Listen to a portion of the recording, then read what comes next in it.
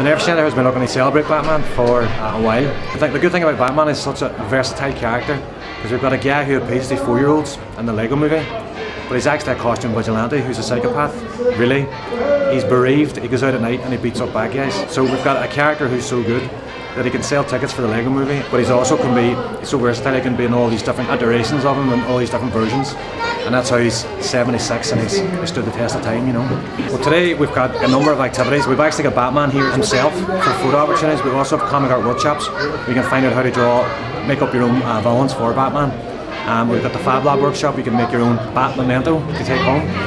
But we also had Stephen Mooney, who's a fantastic aerial artist who's working on Grayson at the minute.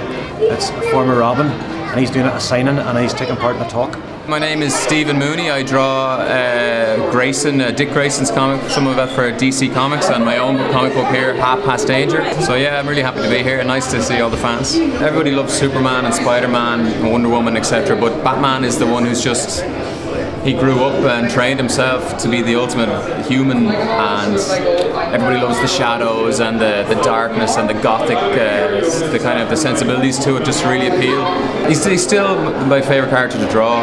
Well in this room we're having our video game sections. We have a minecraft uh, building competition and for the rest of the games we've got batman the brave and the bold uh, the 90s batman returns on the mega drive and the new Lego Batman 3 on the PlayStation 3. We're actually using the iPad and using a, a green screen app. Um, we're allowing the children to put themselves onto the 1960s Batman onto.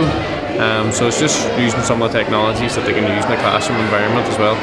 Remember kids, play safe. Always listen to your parents.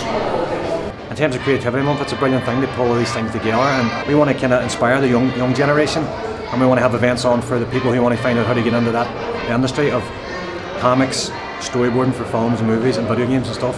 So I just think the skills, the creative skills are behind all these really cool cool forms of media and they can be transferable across all these different parts of the creative industry. So the creativity month's really important for pulling all that together and you know, showcasing what's out there.